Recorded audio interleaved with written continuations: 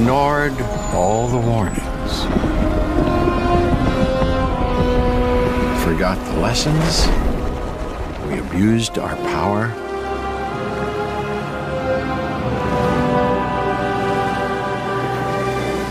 We played with genetics like, uh, like it was a toy.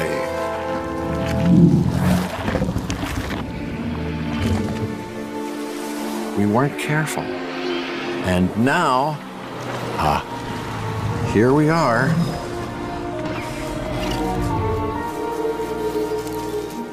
This is a very different world.